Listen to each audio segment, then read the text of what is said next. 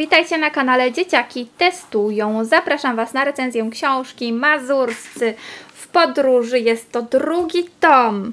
Porwanie Prozerpiny od wydawnictwa Wilga oczywiście, autorstwa pani Agnieszki Stelmaszyk. Mazurscy w podróży jest to bardzo przygodowa, z kryminalnym wątkiem y, książka, którą czyta się jednym tchem i nie sposób oderwać się od lektury.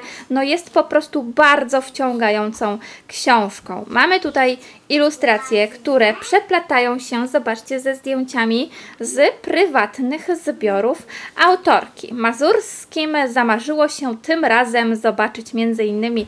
Ocean Atlantycki, m.in. też przez Berlin chcieli jechać, bo znów zaplanowali sobie jakąś niesamowitą i długą trasę, długie wakacje.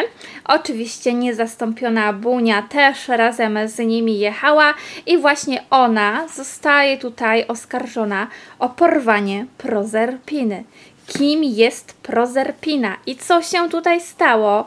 Musicie to sami przeczytać. Ja nie chcę za dużo zdradzać. A czytanie książki to czysta przyjemność i poznajemy też właśnie inne kraje, ich kulturę, różne ciekawostki na ich temat. Warto czytać Mazurskich w podróży. Pierwszy tom był świetny i ten również Porwanie Prozerpiny bardzo Wam polecam.